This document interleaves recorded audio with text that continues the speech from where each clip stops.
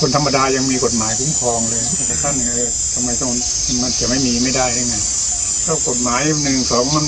เพียงแต่ว่าใครทำผิดอะใครไปยุ่งไปอะไรกับท่านนั้นมันถึงก็จะผิดแต่ถ้าเราไม่ยุ่งแล้วมันก็ไม่มีไม่มีผิดอะไรหรอกเราต้องมีชาติศาสนาพระมหากษัตริย์อยู่แล้วล่ะ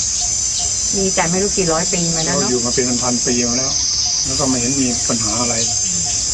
ดูสิแบบประเทศเองก็มีประธานาธิบดีมีอะไรขึ้นมาเห็นไหม มีปัญหากันมีล้มล้างกันมีการฆ่ากันบ้านเราไม่ไม่ไม่ค่อยมีเรื่องอะไรนะเพราะเรามีระบอบกษัตริย์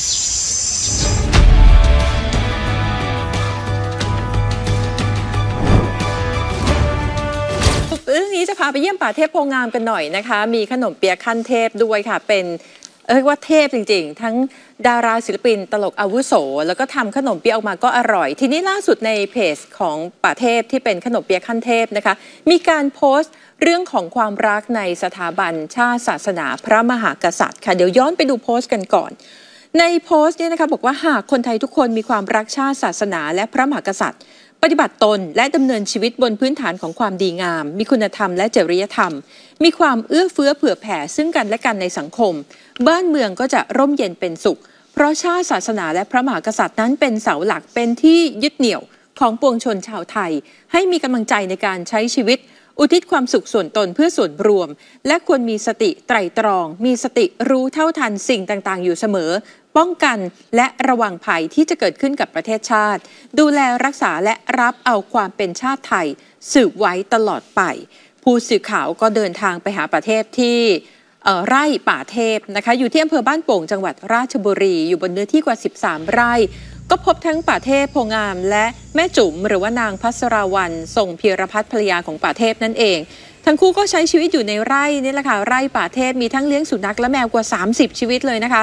ส่วนวัวและควายกว่า 30 ตัวเนี่ยเห็นว่าทางป่าเทพนำไปถวายให้กับทางวัดทางอีสานแล้ว แม่จุ๋มก็เล่านะบอกว่าที่นำวัวไปถวายเนี่ยป่าเทพก็ยังบ่นคิดถึงบรรดาวัวควายเหล่านั้นด้วย ส่วนวันนี้ปิดร้านหนึ่งวันไม่ได้ทำขนมเปี๊ยะช่วงนี้ไม่ค่อยได้ออกไปขายขนมเปี๊ยะนะคะ เพราะว่าป๋าร่างกายยังไม่ค่อยดีค่ะ เห็นว่าป๋าเทพเจ็บคอ เมื่อวานก็ไปหาหมอมา ส่วนขนมเปี๊ยะส่วนใหญ่ทำขายกันในเพจนะคะ ข้อความที่มีการโพสต์ใน Facebook ขนมเปี๊ยะขั้นเทพ อันนี้ป๋าเทพไม่ได้โพสต์เองเป็นแอดมินที่โพสต์นะคะ ส่วนป๋าเทพก็เล่าค่ะบอกว่าช่วงนี้ก็ไม่อยากจะให้มันมีเรื่องมีราวขึ้นมาไอ้ที่ว่าจะไปแก้มาตรา1นึเนี่ยบางทีฟังแล้วก็เป็นห่วง ไม่อยากให้มันเป็น เราเนี่ยเป็นคนไทยมันคิดยังไงก็ไม่รู้ทั้งที่ท่านไม่ได้มายุ่งเกี่ยวอะไรกับพวกเรา หากว่าปล่อยไปเนี่ยใครทำอะไรขึ้นมาอยู่ๆก็ไปเผารูปบ้าง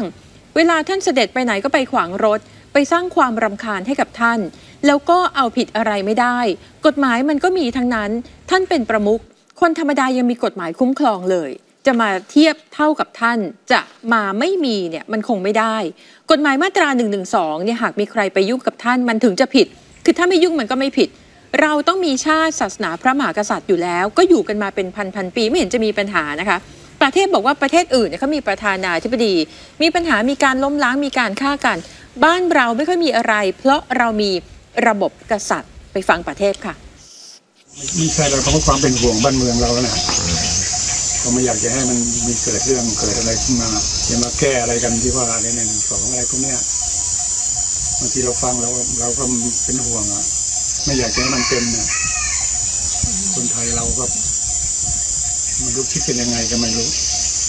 ทั้งทั้งที่ท่านก็ไม่ได้มายุ่งมาเกี่ยวอะไรอะ เป็นห่วงว่าต่อต่อไปเกิดเราปล่อยไปเนี่ย ต่อไปใครทำอะไรขึ้นมา มันก็ไม่มีผิดไม่อยู่ๆมาจะไปเผาลมรูปมั่งเผาอะไรมั่งเราท่านเสด็จไปไหนก็ไม่ขวางรถมั่งอะไรบ้าง แล้วเอาผิดอะไรไม่ได้กัน กฎหมายมันต้องมีทั้งนั้นแหละแม้กระทั่งแหมท่านเป็นประมุขอะ